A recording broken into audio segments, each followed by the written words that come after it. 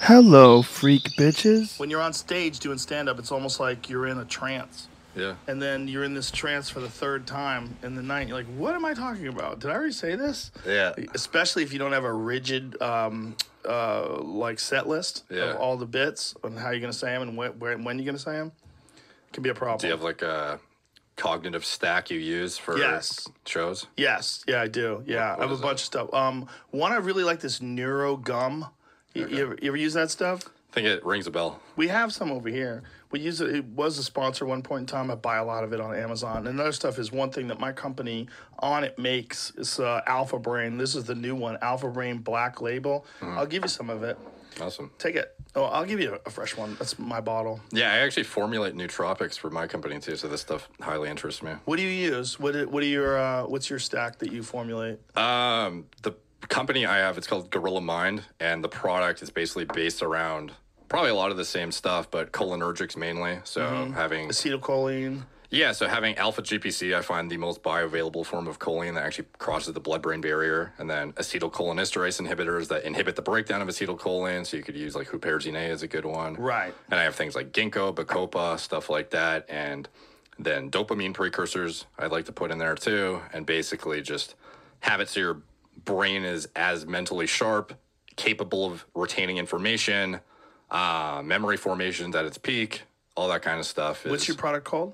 Gorilla Mind? Oh, it's called Gorilla Mind. Yeah. Um. So, do you take this uh, before podcast, before you do your video podcast, Yeah, I take it pretty much every day. and you take it what? Like, say if you want to do something and be at your peak, take it an hour, two hours before. What's your? Um, for me, yeah, I'll usually do like an hour beforehand. Yeah. Ish. Yeah. Guess and I I'll usually it- combine it with like some sort of stimulant, either just caffeine through, um, you know, a coffee or an energy drink if I want, or, um, yeah. Sometimes I use, uh, I have sleep apnea, so I've been prescribed modafinil for a long time too, which is What have you done for your sleep apnea? CPAP. Oh man, those things suck, don't they? Uh, they're not very like they're kind of annoying to have to wear, but I'm so used to it at this point that it's just part of my routine. But I have a mouthpiece that I wear that keeps my tongue from falling back.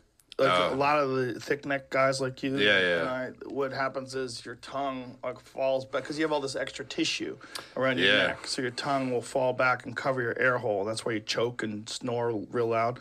Well, this tongue depressor, it's like a mouthpiece, and it holds my tongue down, so it keeps my airway open. oh, nice. It's amazing. Yeah, I think uh, that's one of the most overlooked silent killers of muscular guys Yes. and fat people. Yep. Yeah, because you don't even know you're getting fucked up in your sleep. And you wake up and you just feel terrible. Like I used to go to university classes and sit there and not understand why I'd fall asleep after five minutes every day. Right. And the te- you know the lecturer just thought I was a shitty student, but in reality, my sleep was just atrocious the entire time.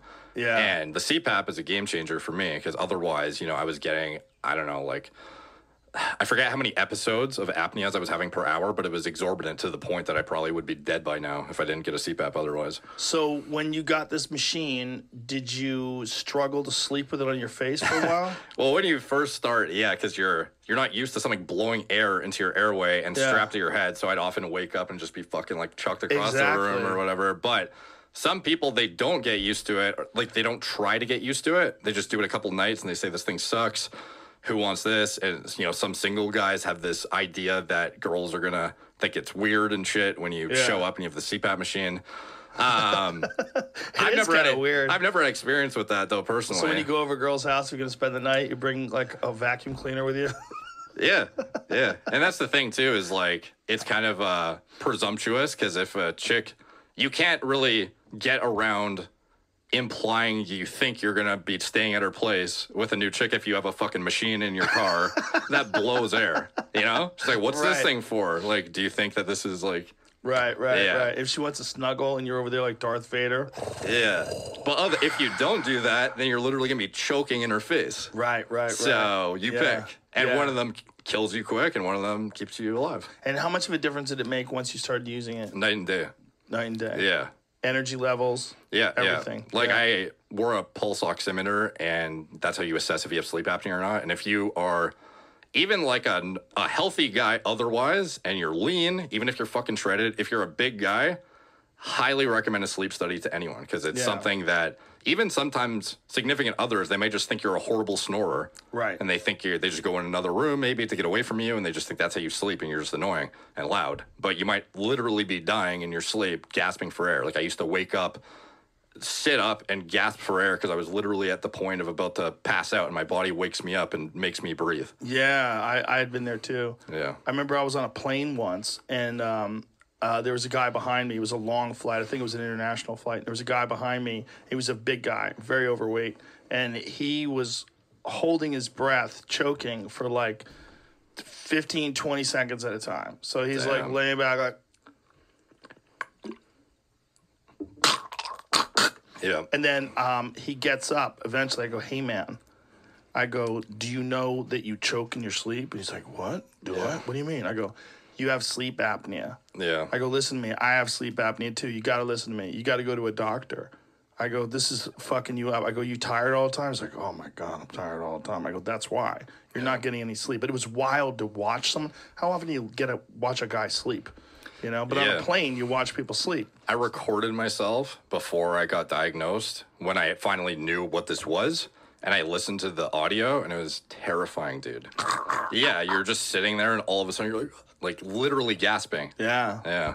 There's ways you can sleep where it's not as bad, right? Like you sleep on your side, or I always felt like one of those massage tables would be the move. Like sleep with your. so you face. could lie on your face. Yeah, Because I your- can't, I, with the mask thing, I can't lie on my stomach like I used to because the thing will get pushed out of my airway. Right, right. So have yeah, to- that might not be a bad idea. How do you lie? Sideways? on my back, On which back. gets annoying because sometimes you want to roll on your side and then And it can can't. be. You can, but it's like It knocks off your Sometimes, it- yeah.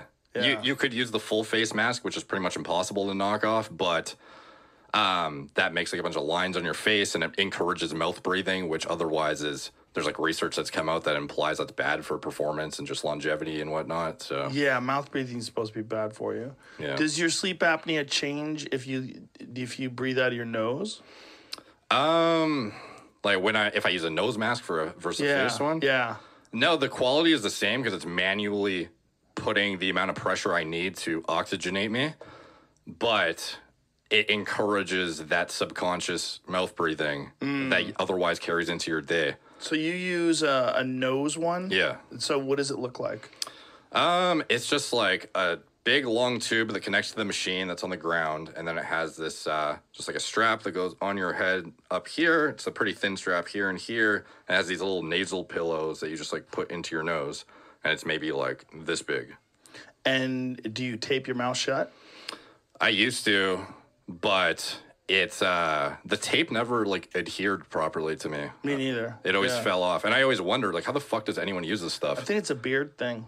Yeah, but even when I was clean shaven, it didn't work for me. Really? Yeah, Maybe try duct tape. yeah. I, I was. Tape. I actually okay. I actually use this thing now. I just remembered actually. It's called uh, it like. It, so I have the strap for the CPAP mask, which is the nose thing, and then I have another strap that goes around my chin to keep it locked. Oh, to keep your mouth shut. yeah, because the uh, the tape wasn't working, so I looked for like a chin strap. How do those work? It just ties around your head. So you have a strap here, a strap yeah, here. no, I know how it works. I mean, how? Like, how effective is it? Very. Really? Yeah, it's, I find it better than tape. Oh, so that's your move now. Chin strap, Yeah. nose plug. Yeah, so it's quite the fucking setup. And it does it does look ridiculous. So I could see why some guys don't want to do it, especially, you know, around women, but ultimately like they'll understand if they like you enough, so. It changes your life though ultimately Oh, yeah. yeah it is a it is a big game changer i remember i was always tired and then i got it done well two things i got done one i got my nose fixed i had a deviated septum most of my life I've highly considered getting that fixed too based on what you said. Because you said it was very significant. oh my god it changed everything There were so many people that warned me about empty nose syndrome and like weird shit that might happen when you do it. what's that mean Apparently, when you uh, or is that no? That's for a turbinate reduction. So for I, me, had, I got turbinate reduction yeah. So that apparently, if it's like too dramatic, it gets to a point where you can't even like feel the inside of your nose or something, and it feels like Oh. it's empty because all the stuff in there is just gone. And it, I can't imagine like what it's like because it's never happened to me. But people say it's the worst thing ever and it makes them suicidal from how What? it feels. Yeah. There's some like real weird YouTube videos about guys talking about how they got their deviated septum fixed and the turbinate reduction and their lives have been ruined. Whoa. Yeah. Yeah. So it made me kind of think Empty about it. bit. nose syndrome. Like you feel like there's a hole in the middle of your face, like that kind of a deal. Maybe. I, I don't know.